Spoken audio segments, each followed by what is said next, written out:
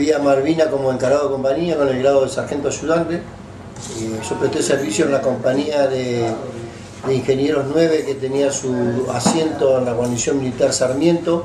Fuimos como fuerza agregada del, regimiento 25 de infantería que en ese entonces comandaba el teniente coronel Seinaldín. Bueno, mi experiencia es que fuimos la, primera unidad aerotransportada que llegamos a Malvinas. Eh, de ahí pasamos a Bahía, una vez tomado Puerto Argentino, pasamos a Bahía Fox, donde nuestra compañía estuvo eh, todo el tiempo.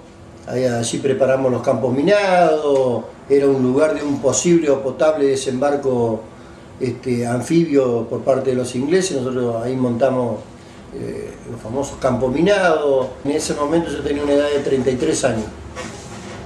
33 años. El encargado de la compañía. Bueno, a mi esposa la tuve que despedir en Comodoro Rivadavia el, dos días antes de, de Malvina, diciéndole que, que iba a un ejercicio a Puerto Deseado, un ejercicio de combate, cuando en realidad yo sabía que iba a Malvina estaba despidiendo a mi esposa sin saber si algún día otra vez la volvería a ver, ¿no sé. Y como experiencia, bueno, recibimos, como yo, no entré, eh, no, no, tuve este, la oportunidad de entrar en combate, o sea, cara a cara con el enemigo, sí, fuimos bombardeados este, por parte de los aviones, por parte de la fragata, intensos bombardeos durante la, este, durante la madrugada y demás. Y bueno, eh, una onda expansiva de una bomba me tiró de arriba un acantilado, me quebré un tobillo y estuve así tirado uno o dos días en Bahía Fox. Eh, me rescataron y luego me llevaron al buque Bahía Paraíso, donde vine con los primeros, el primer contingente que vino de Malvina con heridos y demás. Llegamos a, a Bahía Blanca. Mira, yo creo que eh, habría que dividir este, las aguas. Hay, un antes, un durante y un después de la guerra de Malvinas. Quienes tuvieron la, pergeniaron la posible ida a Malvinas, yo no lo puedo juzgar porque no sé si hasta el día de hoy si estuvo bien, si estuvo mal o, dejó de estar. Porque no sé, no sé cuáles eran los intereses o la realidad de la historia se suponía que ocupar la isla le, daba a la Argentina la posibilidad de continuar reclamando las islas. Y hasta ahí lo que yo sé.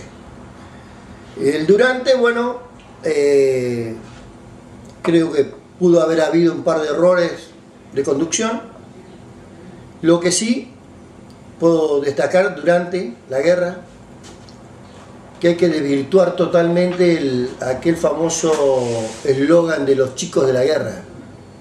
Porque en realidad, si bien es cierto, tenían muy corta edad, este, allí creo que supieron hacerse hombres de verdad, demostraron que tenían todo lo que tenían que demostrar y se, fueron, y se hicieron combatientes a la misma par que, que lo pude haber hecho yo, porque yo también nunca había ido a una guerra Así que por más grado que tuviera, para mí era mi primera experiencia como, combatiente.